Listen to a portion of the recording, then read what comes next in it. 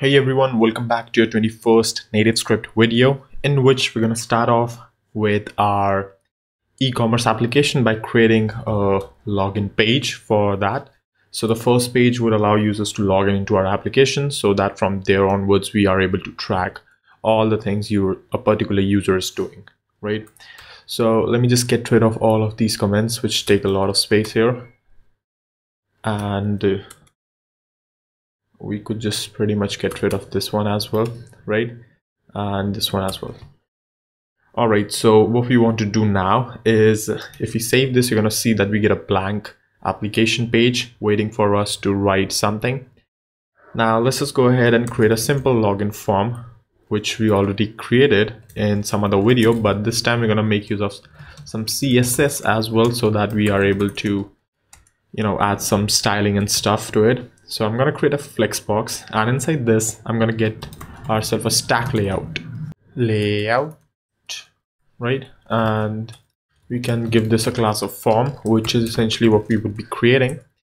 The next thing is um, we need some sort of logo or label at least for our application. So we're gonna give it a class of header and we're gonna say, nope, not here. Inside our text property, I'm gonna just say this is e-commerce yeah. Because this is an e-commerce app. Next thing is we could we want to have a couple of fields here for username and password or for email and password. And we're just going to go ahead and give it throw it inside a stack layout as well. So i'm going to get an input field of stack layout. And because we need a couple of these so we're gonna get that as well. Right all right so once we have that in here what we want is a text field right here which is an input and would just be like username. And what we want its text to be is coming from our uh, model that is our email or rather this should be username now because we're using username right? Similarly we need a similar text field just right here which says password here but because this is a password field we're going to set it secure to true so that we get those dots. And this would also change to password. All right. So once we have that in place we also need a button right here to help us log in. So i'm going to say this is login. And on tap i want it to fire the submit function. And uh, we could actually make use of some inbuilt classes provided by NativeScript as well. So I know I haven't touched upon that, but NativeScript actually comes up with some inbuilt styles applied to um, which you can apply using classes, right? So button button primary is one class which would make your button kind of look like a primary button, right? And there's also this one class which allows you to set margin and stuff which is dynamic. We're going to discuss dynamic classes later on, but for this tutorial, I'm just going to make use of them and maybe we could just discuss it later when we are, you know, actually doing some um, dedicated video on that one. Or maybe, yeah, we could just go ahead and use that at that point only. All right, so once we have that, what we need is we need some styles now for all of these classes which we have in place here, right? So what I'm gonna do is go ahead and create a file which is exactly the same name as my page here. So I'm going to say this is my main page.css, right? And uh, I'm going to paste in my whatever I want to do, my styles would go inside this main page.css file. Now, starting off with our um, form at the moment, because we, we don't really need to style our page, what we can do is uh, pretty much we could just say that this has a margin left of 30 margin right of 30 which would kind of create make it in center right?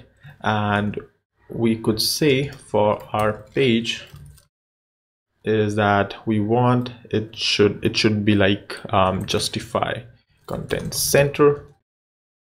And we can give it align items center justify content to All right, so let's just remove that justify content rule and add a width 100% here to make our form full width.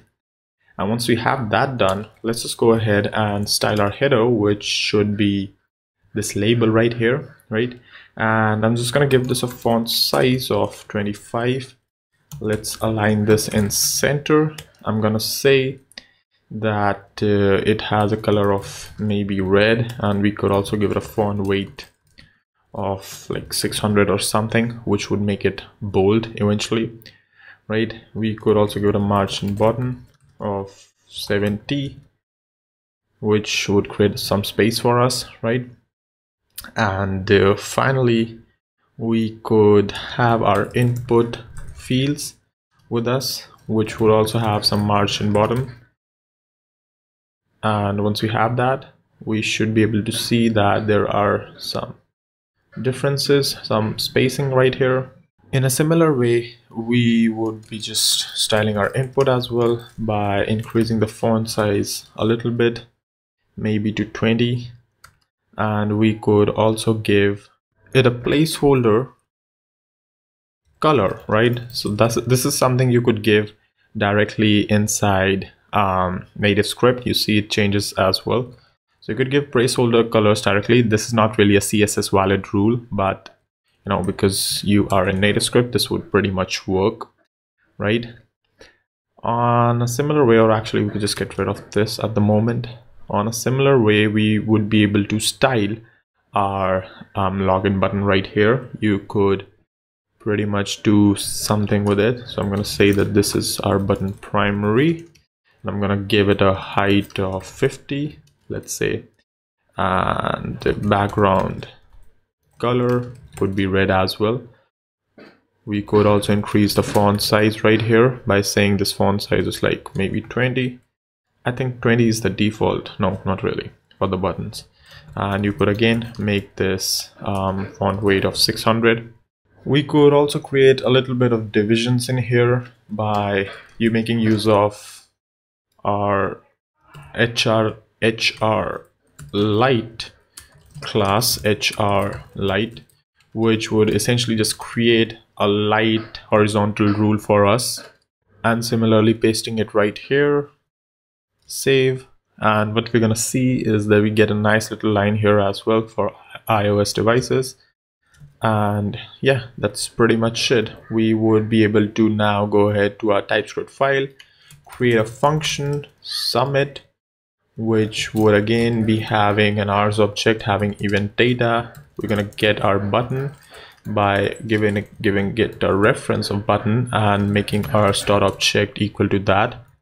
Then we can also get our button right here from our TNS core modules. I'm gonna get page from this button dot page and we could pretty much you know check if the user is correct user ID is correct and then we can navigate the page away using page.frame.navigate right? Which we have discussed in the last couple of videos.